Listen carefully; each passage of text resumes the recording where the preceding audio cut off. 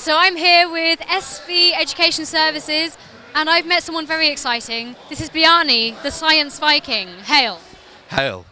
How are you today? I'm very well, thank you.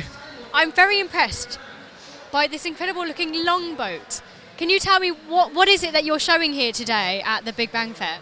Uh, well, what I'm showing is that through uh, an understanding of science, you can gain a greater understanding of uh, history. And I specialise in Vikings.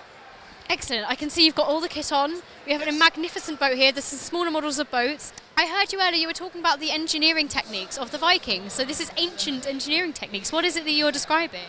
Um, well, I was describing how we can explain the emergence of the Vikings as the, the pillaging, marauding hordes, um, basically down to a technological revolution in their ship design.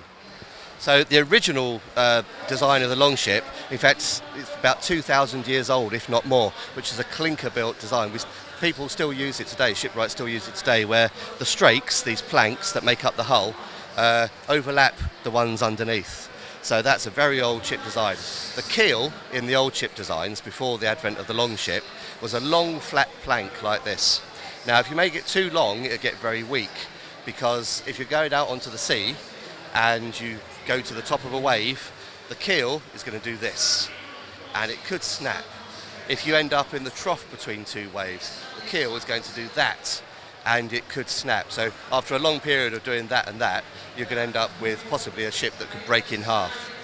Also, because it's a flat plank, it has no side-to-side -side movement, it's completely rigid, which means that the hull, as it's ploughing through the water, it's got the full force of the waves smacking into it, so you need very thick planks in order to uh, survive that impact.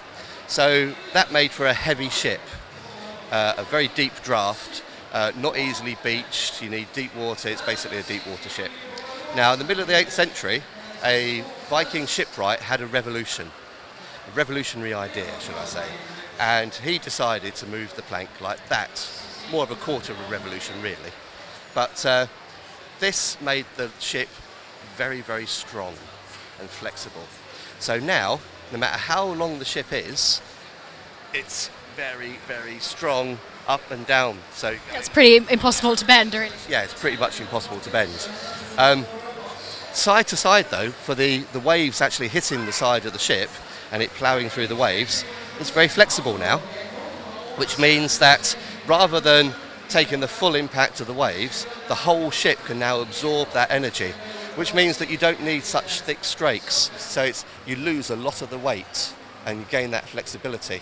So that means the ship's much lighter, which means uh, it can go faster. It has a much lower, uh, a much shallower draft. This 35 metre long ship had a draft of just one metre.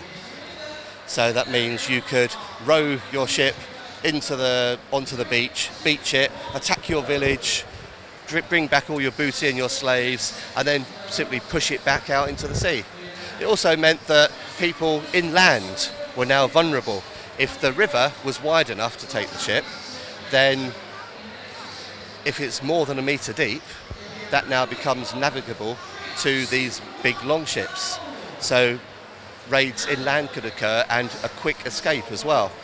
So it was a revolution in ship design. Bjarni the Science Viking, thank you so much for talking to us today. It's been fascinating and I feel inspired. Here is to history and engineering. Ah!